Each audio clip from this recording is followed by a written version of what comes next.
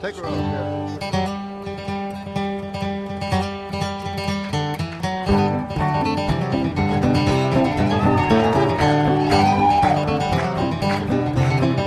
No clapping, please.